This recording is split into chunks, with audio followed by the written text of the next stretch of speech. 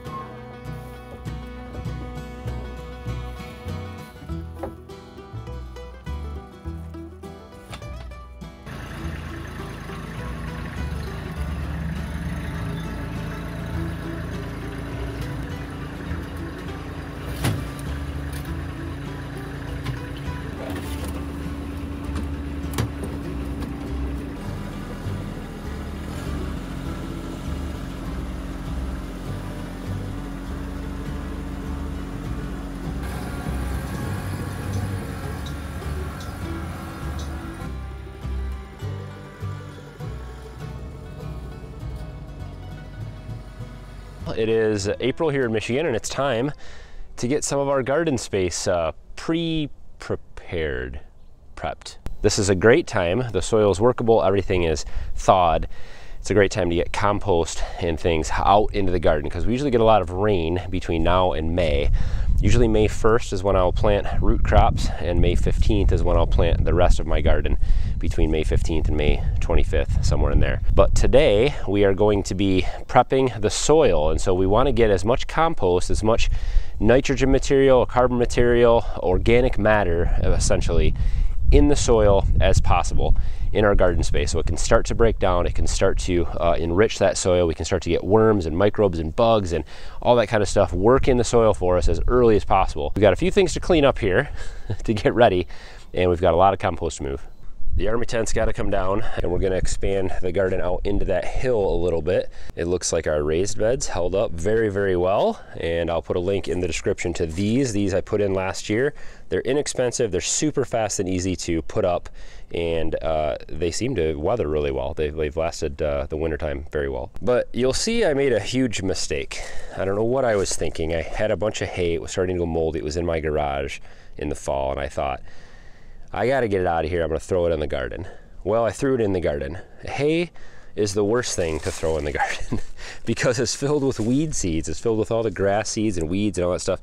And all those seeds have probably already made it into the soil, but oh well. Uh, at this point, I'm going to try to clean out this hay and I'm going to take that up to the chicken pasture and then I'm going to come back down with loads of compost. Technically, this is not compost. It has not composted. It is just uh, chicken bedding. It's it's chicken manures uh, and chicken uh, bedding. We use uh, large flake pine shavings. You can see all those in there.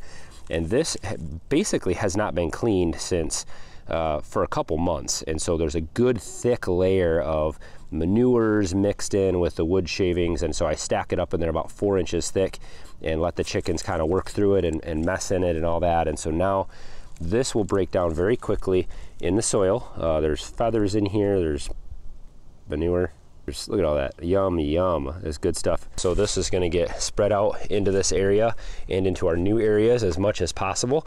And then I'll get the tiller out and we'll till all these leaves in. We'll till all last year's remnants of tomato plants and all that stuff in there. We'll get the soil all nice and worked up, work up the new areas, and we'll have a nice garden space ready to go. We've got a few trips to make. Let's get started.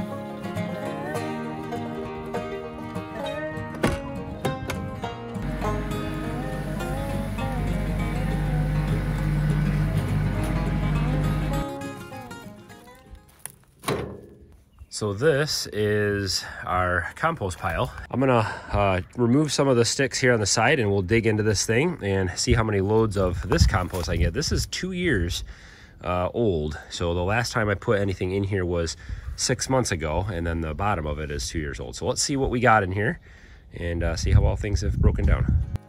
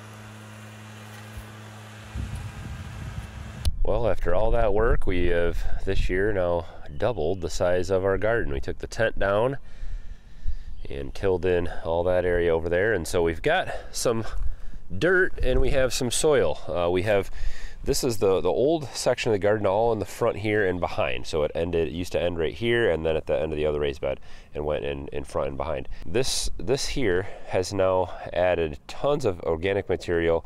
We grew in this last year. We've put wood chips, leaves, compost, chicken manures and beddings, uh, and all kinds of other things in this area and it has been worked into the soil. So it's very dry right now, but this actually, as soon as this gets wet, this will be, you'll see how rich it is. And what we're doing when we're turning dirt, just your yard, into workable, real soil is you're really just creating a home for bugs.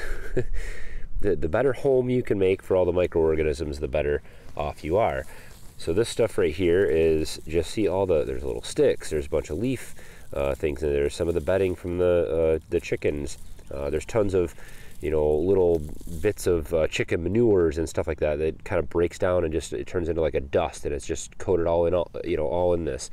There's uh, bits and pieces of stuff from last year. Uh, there's little stems and things like that from from the, the, the tomatoes and peppers and other things that were, were tilled into this area. So this soil for about, you know, maybe uh, I would say four to six inches deep here is is now soil. This is actually healthy stuff. So this will produce a very healthy crop of, of vegetables this year, this soil. It's only gonna get better each year. So we're gonna add more wood chips to this. We're gonna add some more manure so locally around each plant as we plant them. And we're gonna keep this wet. We're gonna cover this and keep this soil wet. So we're gonna, we're gonna attract lots of worms and lots of uh, microorganisms to come and continue to break this stuff down and, and to really, really make the soil healthy everyone that decides to start a garden, you have to start somewhere.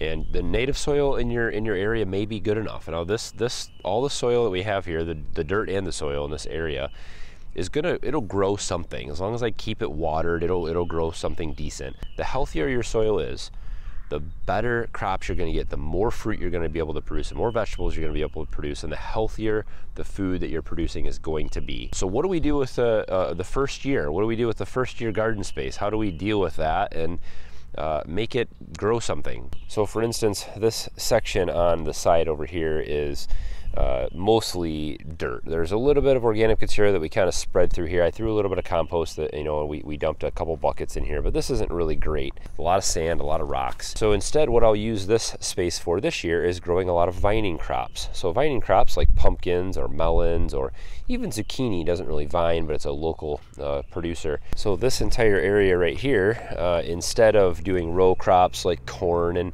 you know, uh, in-ground things like carrots and, and other things like tomatoes and and, and, things, I'll use this for vining crop. And what that allows us to do is uh, when you plant, say, a pumpkin, you're gonna make a, a hill and I'm gonna, uh, you know, plant that in just this little spot right here. Uh, I'm gonna fertilize this spot so I'll be able to add a little bit of uh, compost to this area as I plant that seed or that, that plant. We'll put it right in this little spot right here. And that's where all the nutrients are gonna come from, is this little local area. So I can fertilize this, I can, I can focus on the soil nutrients here, and the rest of it is just gonna vine and cover all of this space. And so I don't need to have uh, good, healthy soil in this entire area. I can focus on locally fertilizing and caring for the soil uh, around each plant. So we'll plant some melons in here and some pumpkins and some things that take up quite a bit of space for the first year. And then maybe next year and the year after, we'll start to use this space for uh, more uh, nutrient rich crops like corn and, and, uh, and tomatoes and peppers and other things that we grow staples here.